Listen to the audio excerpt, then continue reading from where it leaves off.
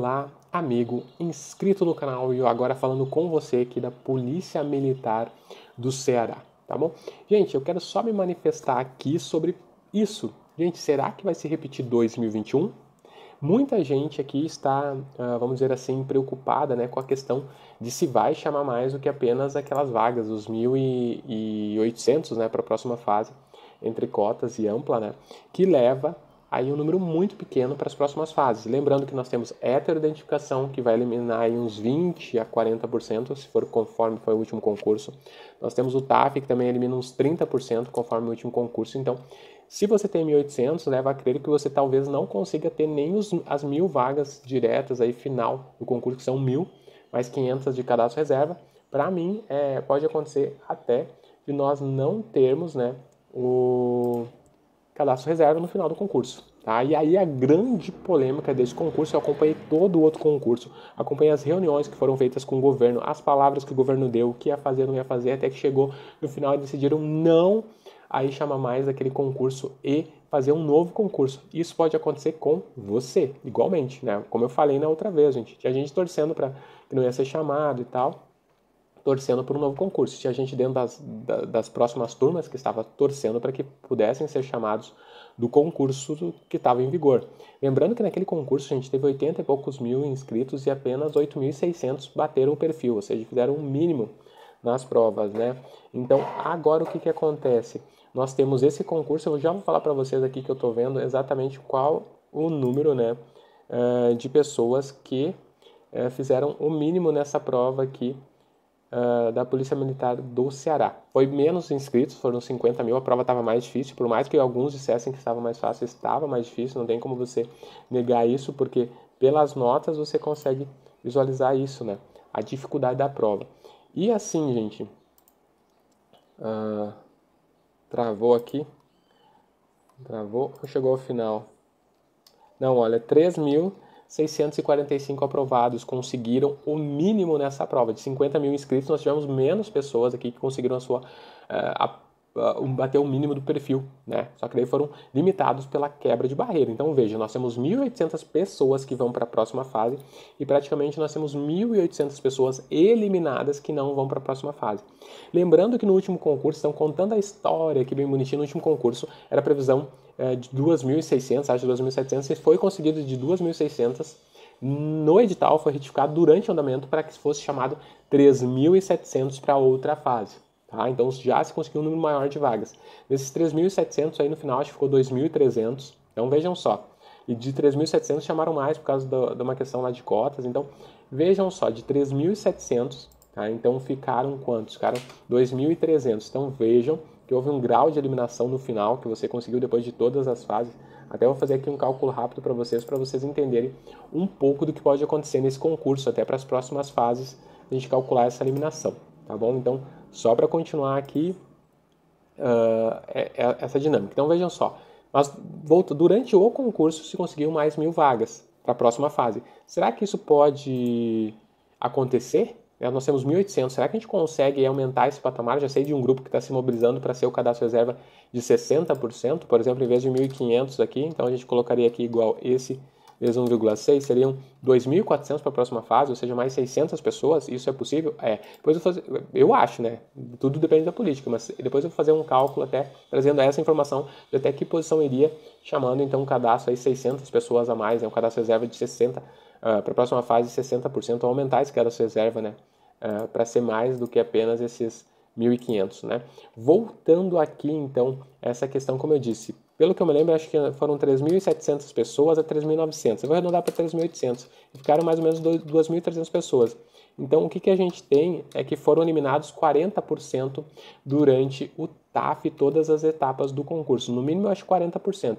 Então, se nós colocar 1.800 é igual a esse vezes vezes 0,6, nós teríamos 1.080. Desses 1.800 sobrariam 1.080, praticamente a, as vagas ali, e daqui a pouco não teríamos cadastro reserva ou poucas pessoas no cadastro reserva. Praticamente não teríamos cadastro reserva. Então o concurso seria válido. Depois, a, a como o, o, governo fez no outro concurso, né? Depois diria que, olha, não tenho mais gente aprovada, vou fazer um novo concurso. É isso que pode acontecer com o seu concurso. Então, a fase positiva que a gente tem do último concurso, ponto positivo, é que foi conseguido aumentar durante o edital para mais mil pessoas aí para a próxima fase. Então, no mínimo aqui, se a gente conseguir 600 pessoas a mais, vai de 1.800 para 2.400, né? Mas, como eu disse, para ter esses 500 aqui, a gente precisaria de mais pessoas, né? Do que só 2.400, por exemplo, né? Se eu colocar 2.400 é, com índice de 40% de aprovação, ainda não chegaria a ter 1.500 de cadastro reserva. Mas só fazendo uma suposição. Então, por isso, ponto 1 um, importante, mais pessoas agora. A possibilidade eu creio que há, mas depende muito da movimentação política, conversar com o governo e tudo. Não, não acredito, não dá para acreditar 100% no que o governo fala ou promete, porque o que aconteceu no último concurso foi isso. Eram para passar esses 2.300, mas eram para ser nomeados 3 mil policiais, segundo a promessa do governador, informalmente. E o tempo inteiro foi dizendo, olha, nós vamos ter que, para dar esses 700 a mais, nós vamos convocar mais uns 1.000, 1.500 para fechar essa turma com 3 mil policiais militares. Esse, essa era a visão do governo. Só que daí fizeram uma consulta lá e eles acharam que tendo em vista a cláusula de barreira, eles não iriam quebrar a cláusula de barreira e tal, porque só tinham esses aprovados, depois faria outro concurso. Foi o que aconteceu. Você só fez esse concurso porque o de 2021 ali, eles não quiseram quebrar a cláusula de barreira e não chamaram mais ninguém. Ou seja, não tem como, né? Muita gente fala 2016, outros concursos que chamaram mais, verdade. Mesmo depois de, de eh, tendo a cláusula de barreira, eles aumentaram e chamaram mais pessoas, isso depois do concurso homologado. Mas nesse aqui não, nesse eles fizeram as vagas a mais durante o concurso, depois precisavam de mais gente, eles decidiram não quebrar a cláusula de barreira, do concurso e eliminou todo mundo para trás, entendeu? Tinham 8.600 aprovados, então se chamou aí 3.900, seria basicamente mais 4.000, 5.000 pessoas para poder passar para a próxima fase, então eles eliminaram e agora fizeram esse novo concurso e você está na mesma situação talvez que, que as pessoas de, do, do concurso do ano passado.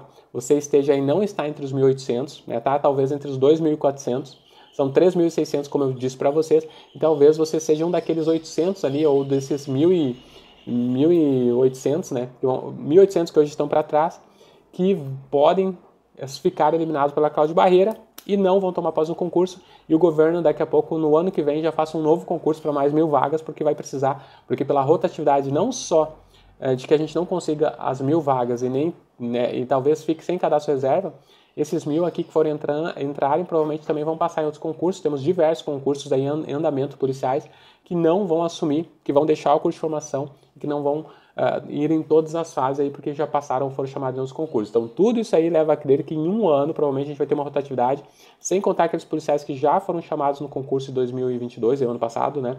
que também já passaram em outros concursos e já saíram da própria Polícia Militar. Ou seja, é muito dinâmico os concursos militares porque é muita rotatividade. Então isso aqui é como você colocar aí uh, um pouco de água aqui numa terra seca, né? Faz um efeito ali durante 10, 15 minutos, daqui a pouco você já não tem nada de novo. Então, a rotatividade é grande, a falta de policiais militares no estado uh, de, de, aqui do Ceará também é grande, então sempre foi necessário. Então, a gente vê esse ciclo, né? Que provavelmente, se não mudar nada, se nós não fizermos aí um cadastro reserva no mínimo 500, provavelmente uh, ano que vem uh, vai ter um novo concurso da PM Ceará. E fico triste por esses 1.800 que estariam aí, num, poderiam estar num cadastro reserva e estão sendo limitados pela quebra de barreira. Então, essa é a frente que está acontecendo hoje no Ceará. Duas frentes. Primeiro, para aumentar o número de pessoas que vão para a próxima fase. Isso tem que ser feito aí ah, durante uma retificação do edital, tem que se conversar com o governo para fazer isso.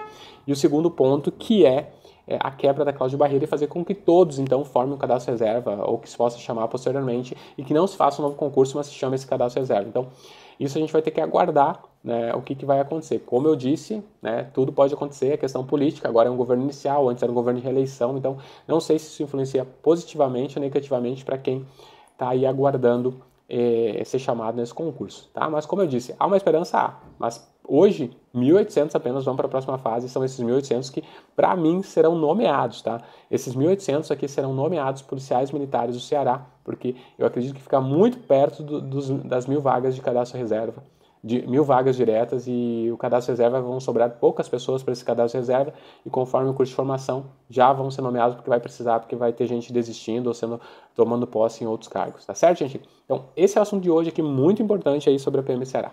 Grande abraço, Deus no controle sempre.